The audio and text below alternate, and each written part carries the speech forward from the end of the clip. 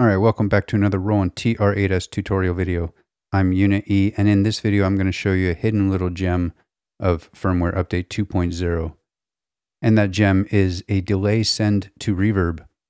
And by that I mean you can now send your delay through the reverb and out.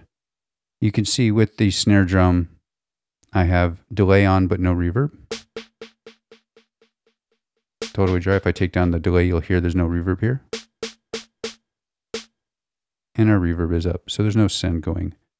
Only send to the delay. Now, with that going, and to do the delay send, hold shift, and this is a kit function. So it's going to be in your kit menu.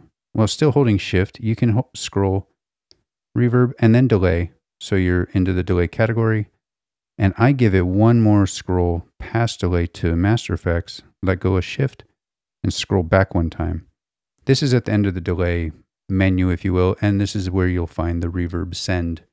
Simply dial this up, hit enter, and you'll hear your delayed tails go through reverb. Let's give it a full so you can really hear the effect. Let's slow it down so you can hear each tail has a bit of reverb.